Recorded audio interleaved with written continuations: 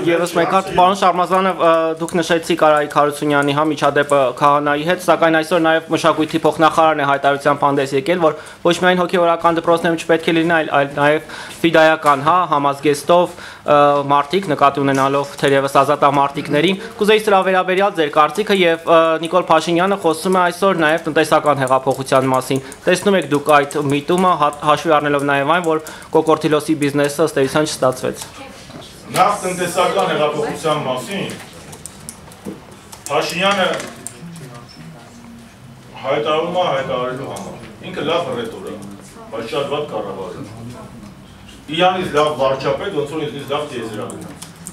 Սա է փաստացույց տվել։ Բոլոր ոլորտներում իրա ցուցանիշները գահավիժում են։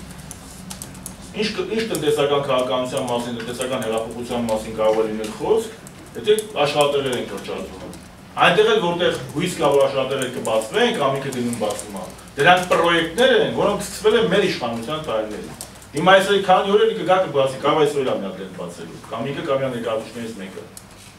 Բայց դրանք պրոյեկտներ են, որոնք սկսվել են մեր ժամանակ։ Դեռ իշխանության օրոք որևէ գլոբալ ծրագիր չի արվել։ 9 ամիս էլ մենք իշխանություն չենք։ Ուր է սփյուռքիզները դերումները։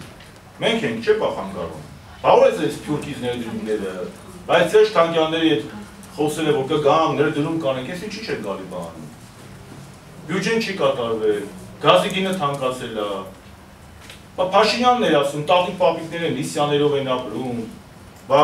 ժողովուրդը ոնց է ապրում, ժողովուրդը, բա ժողովուրդը սոված, այդ տնաշեններ, ինչպես դուք եք ասում, այդ դրել եք ձեզ միլիոնավոր դրամների բանը պրեմիա եք տալի։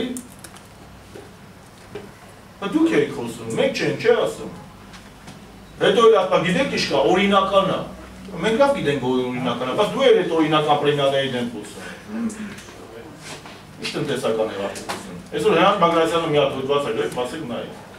Ինչ տնտեսական 4.9% տնտեսական աճով տնտեսական հեղափոխություն տեսել եք։ Մենք մենք Փաշինյանի մի րոպե, մենք մենք ապրում ենք 2019 թվականին Փաշինյանական Հայաստան։ Որտեղ է ղեկավար։ Հայաստանը էլի 5% էր։ 5% չէ։ Սերժ Սարգսյանի ղեկավարած Հայաստանը, Վահեջան, ցուցանիշներ եմ ասել, պաշտոնական։ 9-7%-ով հասնել ենք իրան երկիրը, 4-9-ը ինքը գրել է բյուջեում։ 100-ից ավել ներդրում ա եղել առաջին երամսյակում դոլարի, երրորդ երամսյակում, երկու երամսյակում 9 միլիոն ա եղել։ Ինքը ասում է գյուղատնտեսությունը կզարգացնի մինուս 8% գյուղատնտեսությունում ա Ասպեր աշխատավարձ կբարձրացնեն, որև մեկի աշխատավարձ չի բարձրացել։ Հազարավոր մարդիկ կրճատվել են։ Կրճատվել են, չի բացել։ Ինչի մասին խոսքը։ Իսկ ինչ վերաբերում այդ ֆիդայական ֆորմայով չգնա, եկեղեցականը չգնա, ես պահպանողական ուժի ներկայացուցիչ եմ եւ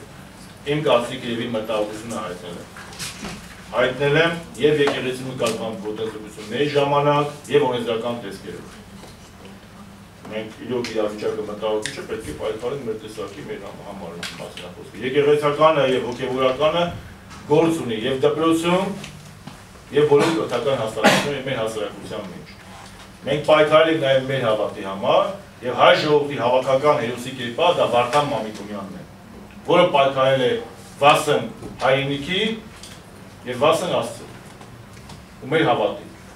Սա է եղել։ Եվ եթե ինչ-որ ուզում են նոր հերոսներ բերել ներմուծել, ինչպես Բոլտոնն էր ասում,